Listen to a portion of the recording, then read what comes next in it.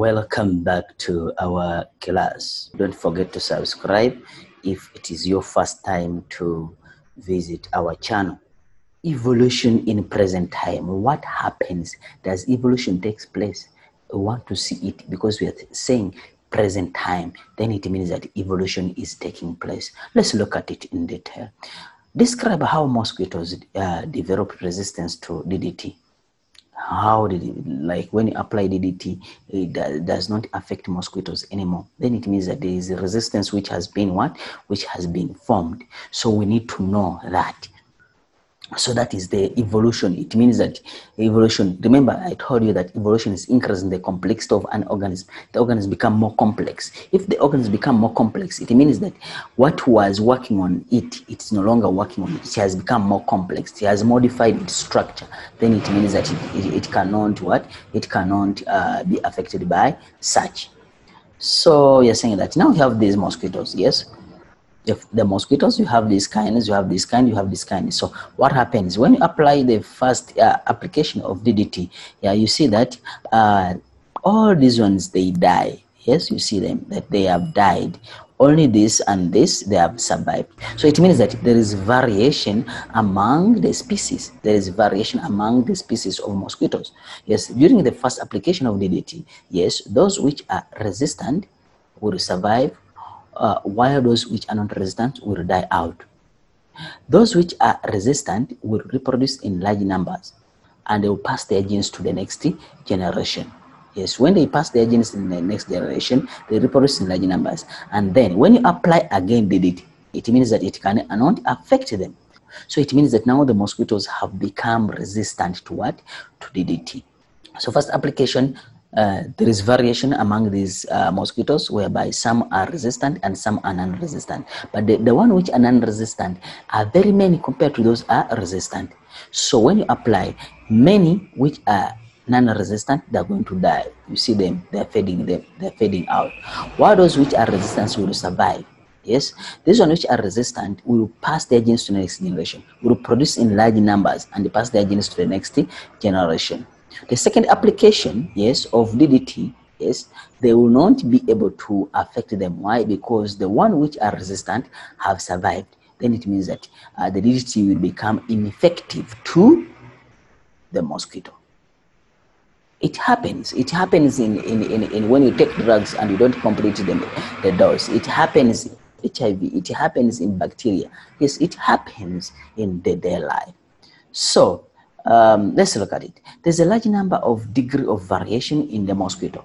Yes, we saw it. When the DDT uh, was first used, it killed off the large number of mosquitoes. But some mosquitoes were resistant to the DDT and they survived. Those which are resistant, the black one, you saw it, uh, they were resistant, so they survived. When they survived, they passed. Those that survived were able to reproduce. They reproduce in large numbers, increasing the population of resistant mosquitoes. Yes, continued use of DDT had little effect on the resistant mosquitoes. It means that those which are resistant now they have uh, conquered the what the environment. So DDT will not be working on them. So at the end of the day, you'll find out that DDT will become ineffective to uh, mosquitoes, or it becomes effective in killing what the mosquitoes. Hence, uh, we are saying that hence the resistant mosquitoes increased and then and non-resistant mosquitoes they died or they decreased in numbers. So basically that's it. That is the present day evolution. Other examples will which can help you um, you can do it with your teacher. Uh, number one, this is resistance in bacteria. Yes, development of resistant strain of tuberculosis, that is bacteria, Mycobacterium tuberculosis, due to the mutation. So this is the bacteria, it is reproducing large numbers. As it is producing large numbers, it produces some resistant. When you apply the antibiotics, yes, these ones which are not resistant will die out.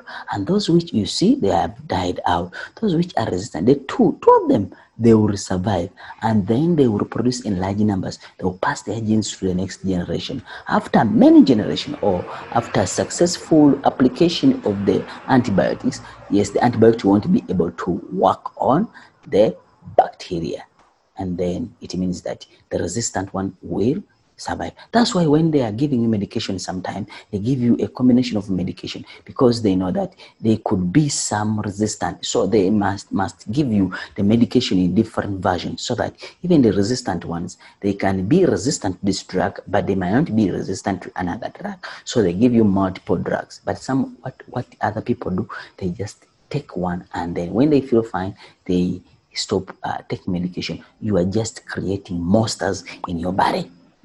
You have to take the drug completely without uh, leaving them the way how the doctor has told you to do. So even if you're fine, you have to complete the dose so that you kill this resistant and non-resistant completely out of your body.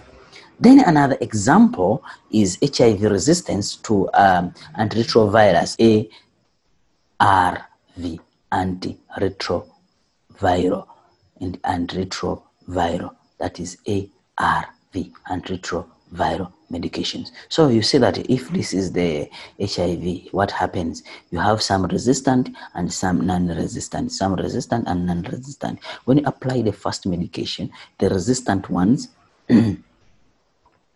will survive will keep on surviving while the non-resistant will die. You see that the red ones are, are dying. And then after many generations. The non-resistant ones will die out and then the resistance will survive until the end of the day. You pack. So it means that now that medication of, of, of, of hiv cannot work on you anymore.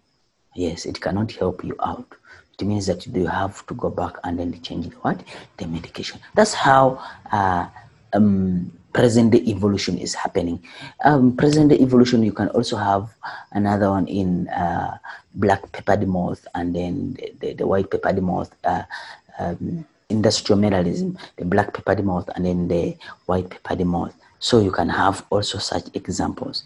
So basically uh, that's it. And then uh, human evolution is sitting in then i will see you there when you come to human evolution. Don't forget to subscribe for our new videos